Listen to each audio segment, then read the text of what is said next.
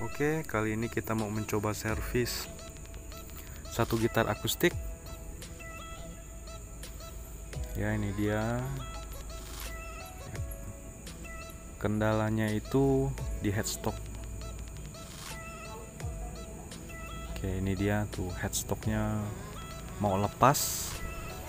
Bagian belakang juga terbuka dan bagian depan juga terbuka. Ini dia, kita coba cabut. Udah lepas. Nah, ini dia. Oke, kita mau langsung coba servis. Kita siapkan alat-alatnya. Oke, pisau dempul kita siapin. Ini lemnya. Dan alat presnya. Oke, kita mulai. Jadi lem yang kita pakai ini lem propan. Propan harus dicampur satu banding satu. Ya dia kayak lem campur hitam lem campur lem besi tapi ini khusus lem kayu. Dan hasilnya sih kuat. Oke kita coba campurkan ya misal pakai secukupnya aja. Jadi misalkan lem yang satu satu sendok makan yang satunya yang lem satunya juga satu sendok makan. Oke kita coba dulu. Kayaknya udah cukup. Ya kita aduk. Kita percepat saja pengadukannya.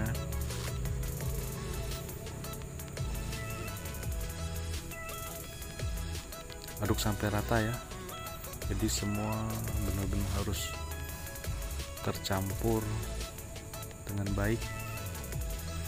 Jadi jadi hasilnya juga baik. Ya kira-kira ini udah tercampur semua udah baik hasilnya. Oke kita tutup dulu lem yang ada. Tutup nggak rapat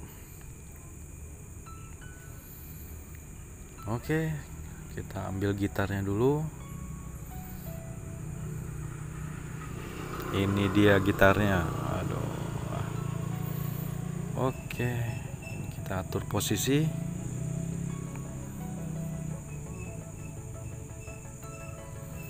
Ini dia headstock yang tadi lepas ya. Kita cabut.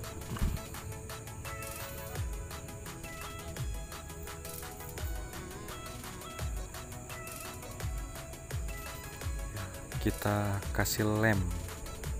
Lem yang tadi yang telah kita campurkan kita kasih ke bagian yang lepas. Ya kita lumuri hingga merata. Ini headstock yang bagian depannya ya.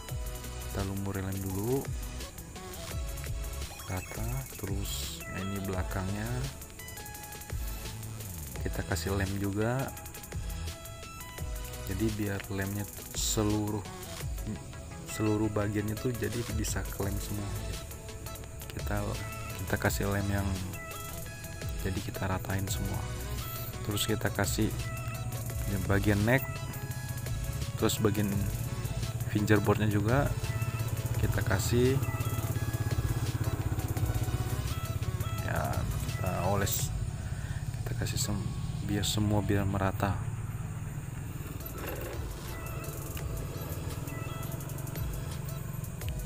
oke. Kita kasih kita lumuri semua. Oke saya simpan alatnya dulu. Sambil mempersiapkan alat presnya ini dia alat press yang tadi. Akan kita pakai. Kita gabungkan dulu headstock dengan necknya tadi. Kita gabungkan hingga rata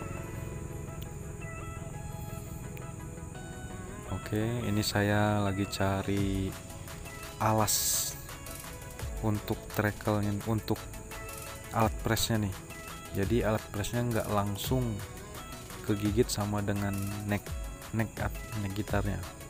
Saya kasih alas karena ini kita press pressnya tuh kencang gitu. Jadi kita harus kasih alas. Kalau kita nggak kasih alas tuh bisa ngerusak gitarnya necknya.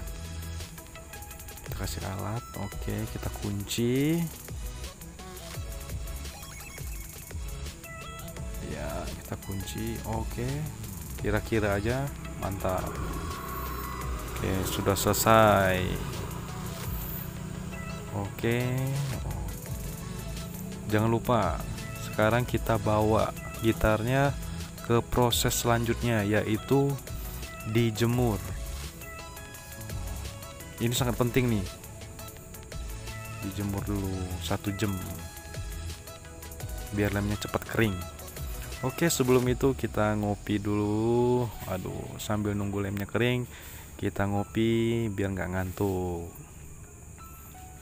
Oke ini dia. Udah satu jam. Kita angkat. Lemnya sudah kering. Oke Jangan terlalu lama juga ya Takutnya ngerusak seluruh bagian gitar. Satu jam cukup untuk proses pengeringan lemnya. Ini dia ayo sip. Coba kita buka.